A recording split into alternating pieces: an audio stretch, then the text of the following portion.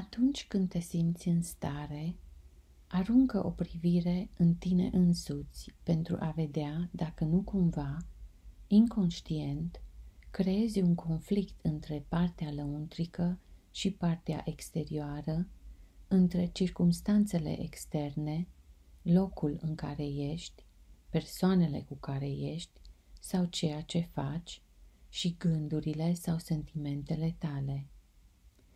Poți simți cât este de dureros să te opui intern lucrurilor care există?